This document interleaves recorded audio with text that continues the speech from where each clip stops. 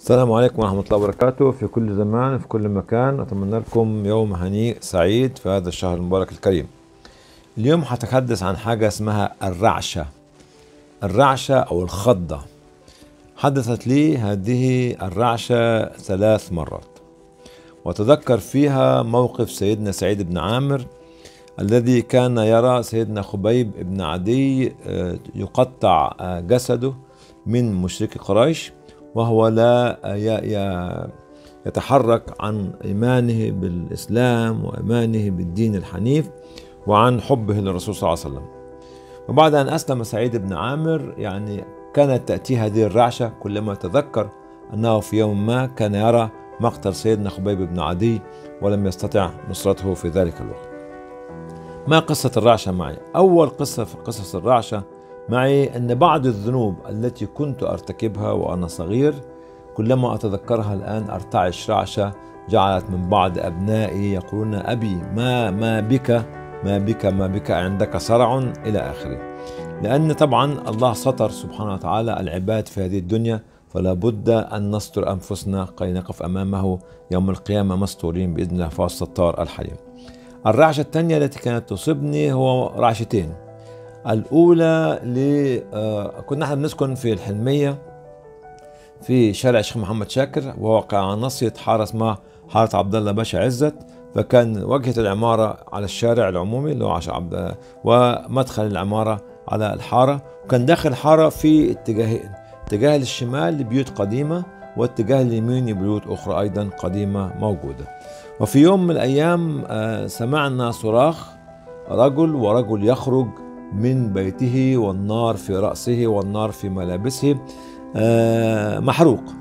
فهرع الجميع وفتحت الشبابيك والنوافذ وخرج الناس ليطفئوا هذا ال- ال- الحريق على رأس هذا الرجل. وأنا كنت طفل صغير أشاهد هذا المنظر الذي ما زال يؤلمني حتى يومنا هذا.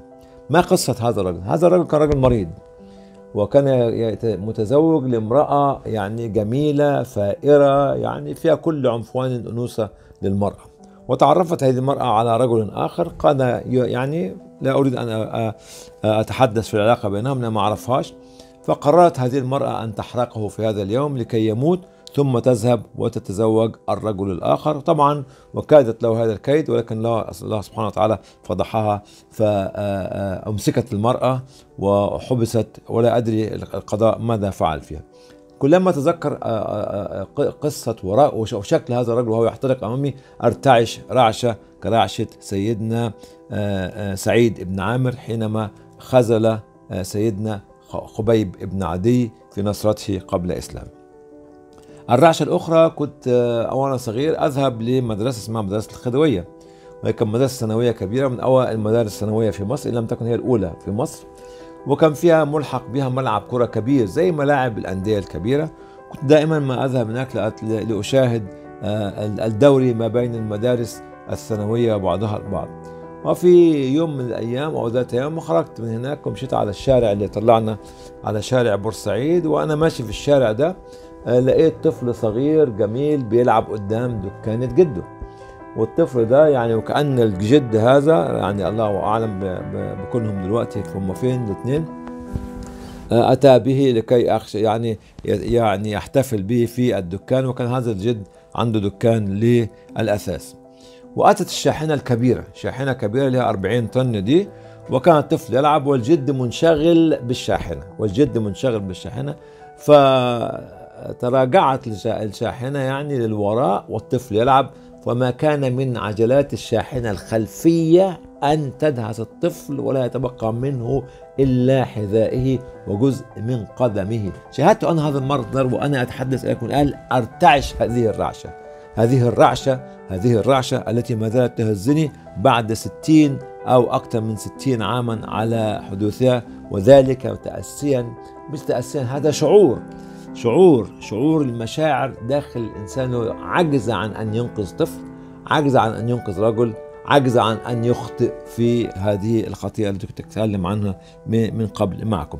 لذلك فالخلق هنا أن الإنسان لا ينتظر لا ينتظر آآ آآ إلى أن يموت الشخص أمامه بل يهب لنصرة هؤلاء الناس كي أو لإنقاذ هؤلاء الناس كي يستطيعوا أن يعيشوا حياة كريمة هانئة. وهذه رعشة سعيد بن عامر تحدث في آه وإلى الآن أكلمكم عن حرق الرجل وعن موت الطفل الصغير. وجزاكم الله خيرا والسلام عليكم ورحمة الله وبركاته.